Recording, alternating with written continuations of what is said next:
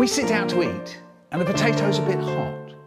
So I only put a little bit on my fork and I blow till it's cool, just cool, then into the mouth. Nice. And there's my brother, he's doing the same. Till it's cool, just cool, into the mouth. Nice. There's my mum, she's doing the same. Till it's cool, just cool, into the mouth. Nice. But my dad, my dad, what does he do? He stuffs a great big chunk of potato into his mouth and then that really does it.